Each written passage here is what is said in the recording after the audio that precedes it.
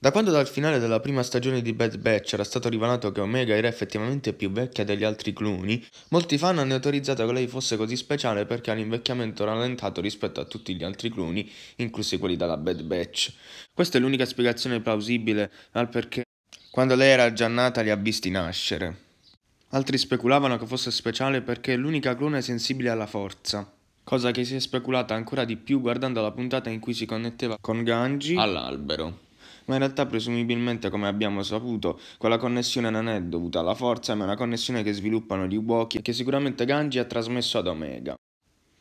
E questa teoria si è ingigantita ancora di più quando nelle ultime due puntate l'abbiamo vista meditare e lei stessa conferma che le è stato insegnato da Ganji.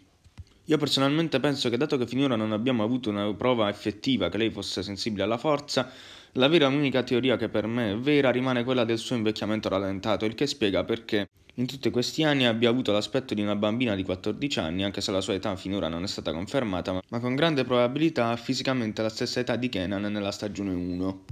E voi cosa ne pensate? Omega sarà veramente sensibile alla forza o il suo potere nascosto è quello di invecchiare molto più lentamente?